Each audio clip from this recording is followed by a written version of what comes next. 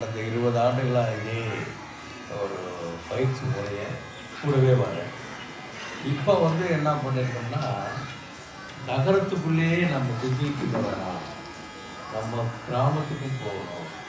அந்த குழந்தைகளுக்கும் நம்ம போகணும் அப்படின்னு சொல்லி தான் எங்கள்கிட்ட கேட்டு கோயில்பட்டி இங்கே சிவகங்கை நான் மற்ற ஊர்களுக்கெல்லாம்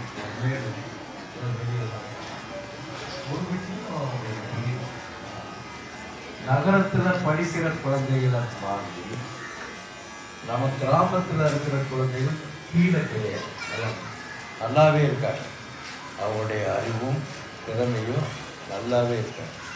ஆனால் இந்த வாய்ப்பு நம்ம கொடுக்கல. போட்டி போடுற வாய்ப்பு கொடுக்கல.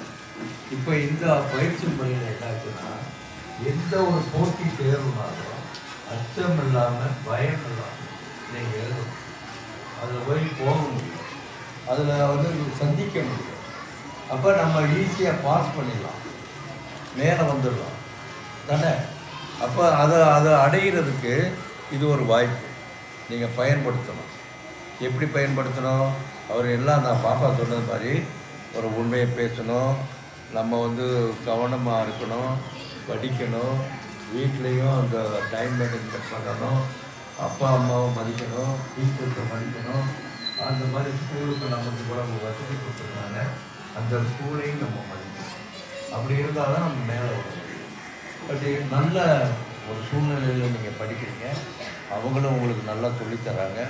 எவரு பயிற்சிகளும் பண்ணுறாங்க நீங்கள் எல்லாருமே ஒரு ஏதாவது பெரிய போஸ்ட்டுக்கு போயிடுவீங்களா கட்டாயம் போயிடுவீங்கல்ல வெரி குட் போயிடுவீங்க நீங்கள் எனக்கு அந்த இது இருக்குது நான் வந்து எப்படின்னா இந்த தம்பியெல்லாம் இருக்கிற மாதிரி நான் ஒரு சாதாரண ஒரு கிராமத்தில் வந்து வந்தவன்.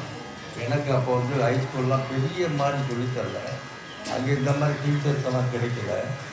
நாங்கள் நூறு பேர் எழுதுனதில்